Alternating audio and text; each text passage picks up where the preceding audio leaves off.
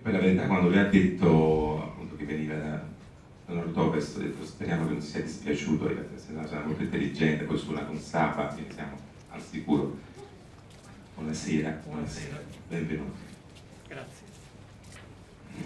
Perché a, a volte in alcuni accenti, anche miei, devo dire, eh, tendiamo a parlare mh, di, di sud, ma noi pensiamo che l'Italia, l'Italia interna, c'è anche al nord, no? Io sono stato tra l'altro in in quelle vallate di parlava lui, e per esempio il problema dello spopolamento sembra strano, ma è più una cosa del nord che del sud.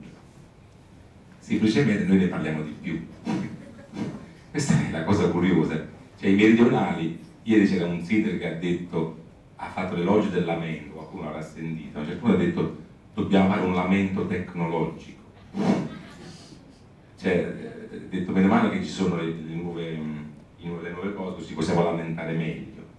E quindi al nord questo sono più non hanno questa grande attitudine, ma lo spopolamento dei piccoli paesi è molto, molto forte nelle, nelle montagne del, del nord, questo, questo, è un elemento che ci accomuna e quindi questo nostro stare qui, eh, e quando io parlo male di, di Berlino, di, ovviamente non è che parlo male dei berlinesi, oppure non è una questione di identità, non siamo, non noi non siamo superiori a nessuno, io dico in certi luoghi, in certi momenti funzionano meglio di altri, o funziona, cioè Parigi produceva delle, delle, merci anche e delle visioni, ha prodotto Baudelaire, ehm, Milano sappiamo cosa ha prodotto, sappiamo cosa ha prodotto Firenze e in questo momento non so Parigi cosa produce a livello culturale, non so nemmeno cosa produce Roma per esempio per stare, in Italia.